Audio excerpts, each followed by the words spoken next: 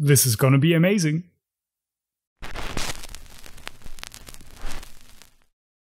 I have so much stuff in my pipeline, it's really hard to put out a video each week, but I try. That's why I decided to make these vlogs to show you what I'm working on at the moment.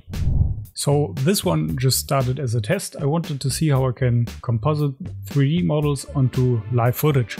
And it's not as easy as you might think. For example, the model has to be behind the live footage. You can either rotoscope or try to do something fancy and create a luma matte. And after a while it starts to look quite alright. But this is only a prototype. This small test turned out to become a collaboration with a good friend of mine. He's a great artist when it comes to colors. I will link his Instagram in the description below so you can check him out.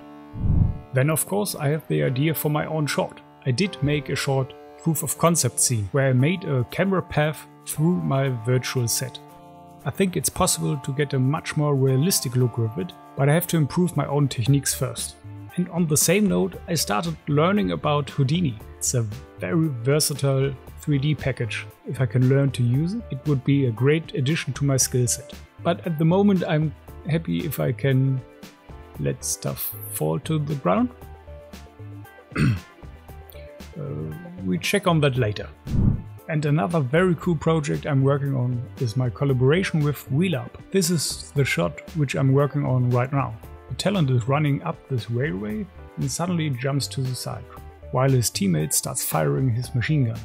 So we need a lot of muzzle flashes, lighting, and hopefully some kind of bullet trails. So for that I already tracked the gun, and here you can see the first muzzle flashes I put on top.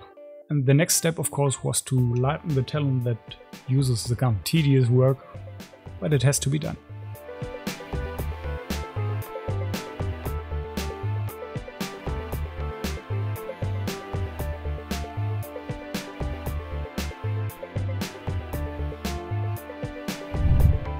And last but not least, I have an additional collaboration coming up, this time with a channel called photographytv.com. But I don't want to reveal too much.